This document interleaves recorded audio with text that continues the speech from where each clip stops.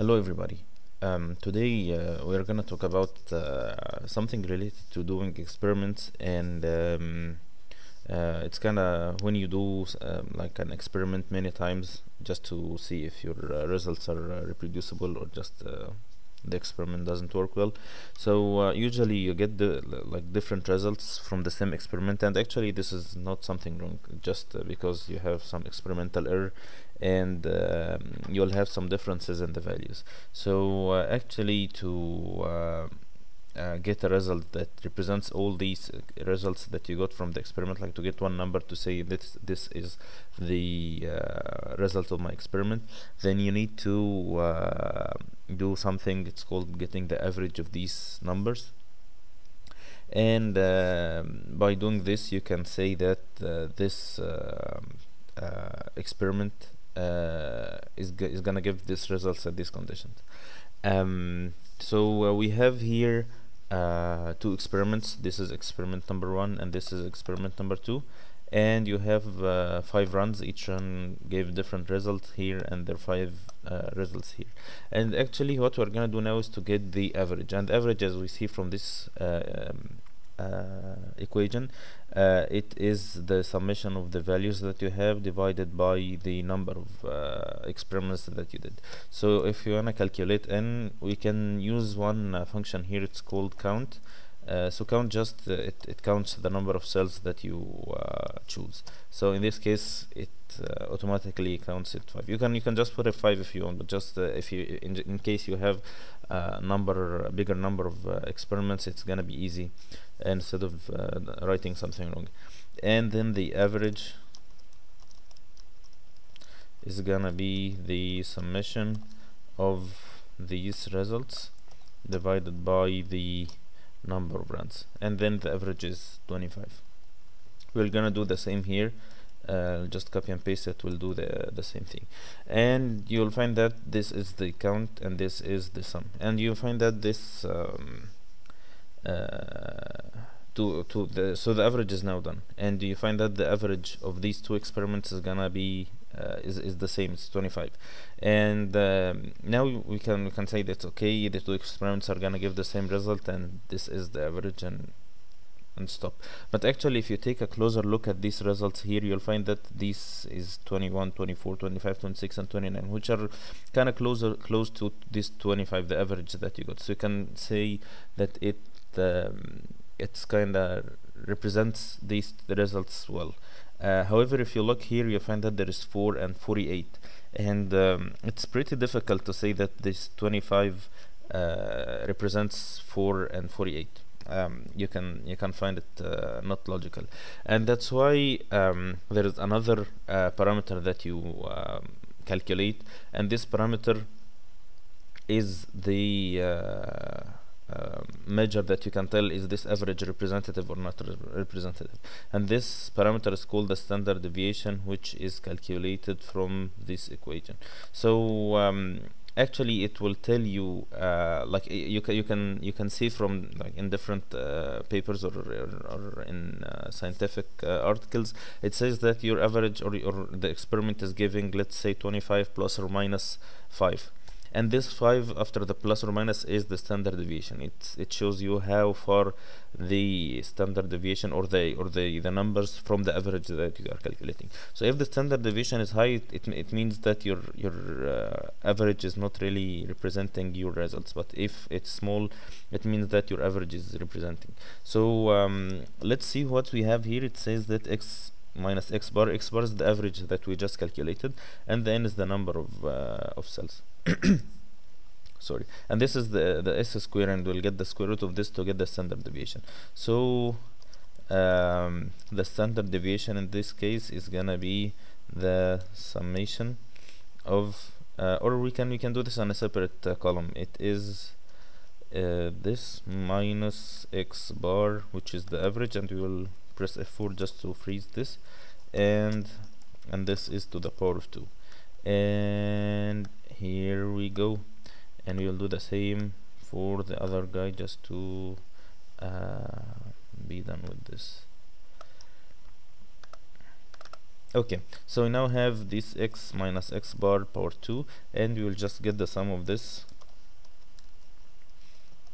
Um, um, divided by n minus 1 and this is the standard deviation but we need to get the square root of this because this is the s square. So we will use the square root function. And now the standard de deviation is 2.915 um, let's do it here for this other experiment. It's now the square root is calculated from these and from this so we are now good.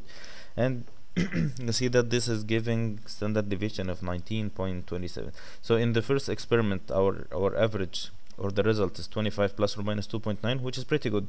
But in the in the other case it's 25 plus or minus 19.3 which is like doesn't make any sense. So in this case you can tell that the second experiment is not good and the results are not con consistent but in the first case the the results are really consistent. Um, so this is how you can do the calculations uh, using these functions. But there is something that Excel can can make your life much easier if you if you know it. Uh, you can do the average and the standard deviation uh, using one function without doing all these uh, calculations. If you just press average or use the the function average uh, average -huh, and then you just choose these cells it's gonna give you the average and the standard deviation it's stdev and you just highlight the, the same uh, cells and this is what you get. If you if you repeat this for the second experiment it's going to give you the same. This is the average and this is the standard deviation. So in this case uh, you don't need to go through all these uh, columns and all these calculations. You just use the function and it will take care of everything. So this is something that's pretty cool about excel. You don't need to i just showed this to let you know how you, how how these are calculated. But you don't need to do all this. You can go use the functions and then you're you're fine um, another thing I'm gonna show you is uh, related to the average and the standard deviation. Uh, we have here an experiment of reaction and you have uh, the, the reaction rate uh, at different temperatures for different catalysts. And now you have these results. You have uh, six runs for um, seven uh, temperatures. And you now need to represent this graphically and show your results. And actually it's not gonna be good to plot seven plots on the same um, uh, on the on the same graph. So what we're gonna do is exactly what we did. We will calculate the average and the standard deviation and then see how we can put this in a graph. And it's pretty pretty cool. Um, so the average as we know uh, is this function you are gonna get the average and the standard deviation.